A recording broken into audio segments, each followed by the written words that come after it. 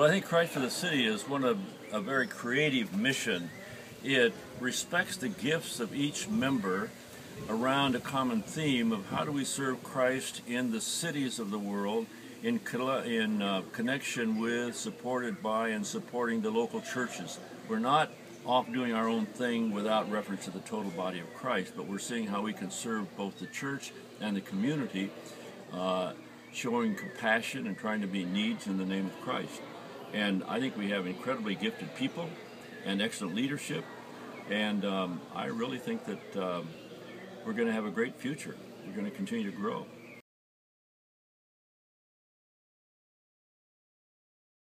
Well, I think obviously the short-term teams, if they are well planned and well done, and ours are, can lead to a significant paradigm shift.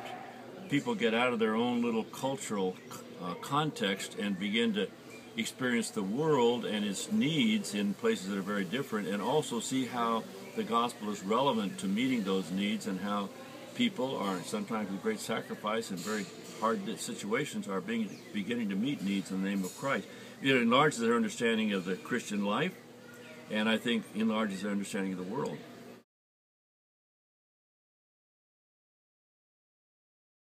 Well, the context of mission has changed um, with uh, the relationship with China and the coming down of the Ber Ber Berlin Wall in 89 and um, new technology, new ways of communicating and travel. That has changed the context of mission. Um, Secondly, the missionary movement is now more multi-denominational, multi-national, um, multi-ethnic. So probably three to four times as many non-Western missionaries at work in the world as as uh, Western missionaries. Um, uh, the whole issue of immigration and globalization. So Storm Lake, Iowa, for example, 37 languages spoken in a town of 13,000 so that now mission is from everywhere to everywhere, and we don't think of mission in terms of geography. When we went, you were foreign missionary, you went to another country. We don't talk about that, anymore. We talk about cross-cultural missionary, and the, another culture might be right across the street. So that whole context of mission, we have at least 200 million immigrants in the world today, people living in countries where they were not born, and that's only going to increase. Um, so the whole context of mission, uh, has changed in terms of where people are, the reached and the unreached, and all these different issues. Um, friend of mine who had been a missionary in Guatemala said if you want to reach one certain people group in Guatemala, you go to a certain area in northern Guatemala, or you go to a certain barrio in East LA, because hmm. they're back and forth. But of course, after they've been in East LA for a while, their cultures change. Sure. So culture is constantly changing. The whole postmodern idea the secularization of the West, um, which brings some disadvantages but also some advantages because um, in my generation, we considered ourselves a Christian culture, and a lot of people sort of went to the church because it was a good thing to do and part of the culture. That's no longer the case. Mm. So maybe that leads us to ask what does it really mean to be a follower of Jesus Christ today? Mm. There are a lot of different things. Yeah.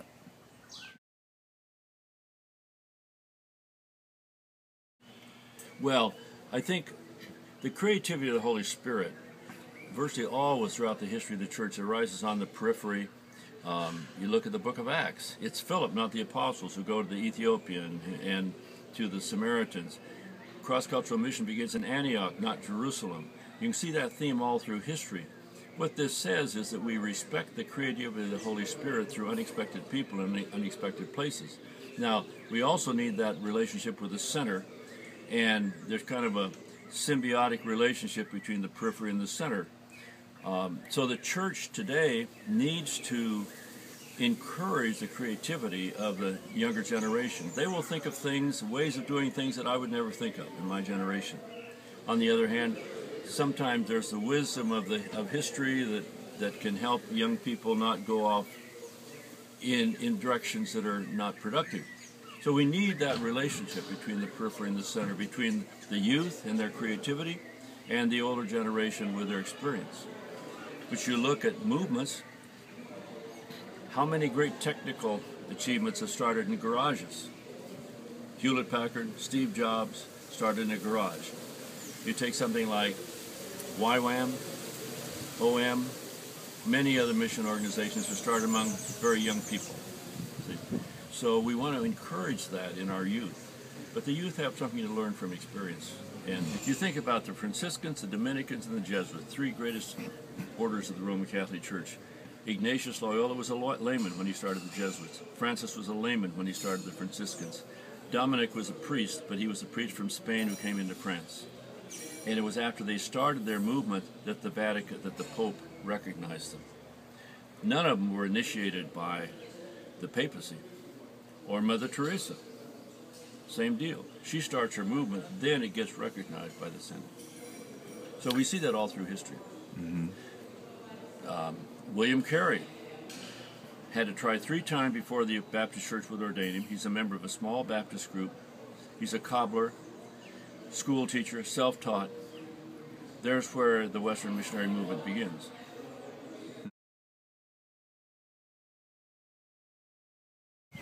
Um, a friend of mine who's now deceased worked in Ethiopia, many he said the, it, the gospel's almost out of control in a lot of places. It's growing so fast. And it comes as incredible good news if we understand it correctly to people who've been oppressed. Um, women, uh, the poor. Think about the radical nature of the gospel. It says you're created to be, you're created in the image of God.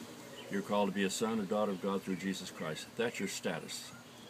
Your society may say you're nobody. The gospel says you're somebody under God. We have an incredible message to share. And um, I think that the church is exploding in growth in many parts of the world today as never before. This is the greatest period in the history of the missionary movement, 2,000 years. Now, the patterns will be different very often, and we need to discover the new patterns. But when I went to Brazil in 56, the perception was the missionary movement was almost over.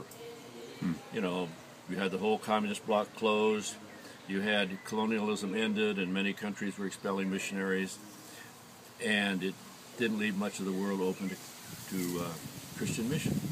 Today, of course, the whole world is open with almost no exceptions, Hmm. and the churches are growing. Are you surprised by anything, or or have you been taught not to be surprised? Um, that's a good question. I always tell my students that history is, teaches us to look for the surprises of the Holy Spirit. The Holy Spirit constantly surprises people all through history. And so while we are surprised, we should expect to be surprised. kind of look forward and relish that. Yeah, yeah. And, and the worst thing we can think of is we can ever say or think is that it'll never work because we never did it that way before. You know, history is full of surprises. Good.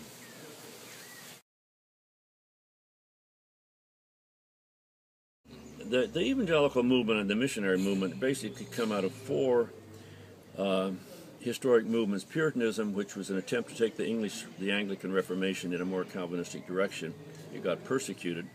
And then the uh, Pietist movement, which started again on the periphery with Spener and Francke in Germany, and sent the first European missionaries to Asia in 1706.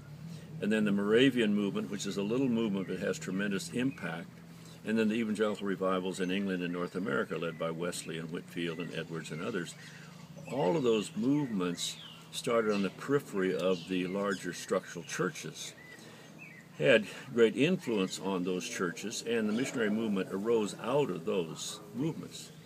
Um, the uh, revival in 1858 in the United States was led largely by laymen, again gave birth to another surge of mission and the student volunteer movement in 1886, which basically is a lay-led movement. You know, the leaders at the student volunteer movement convention were D.L. Moody and Wishard, a YMCA secretary, and Wilder and Mott. They were all laymen. Hmm. There was one Presbyterian minister in leadership. His name was A.T. Pierson. No relation, but it was a lay-led movement. See? Hmm. And it came out of the the background with the 1858 revivals, etc. Good. All right.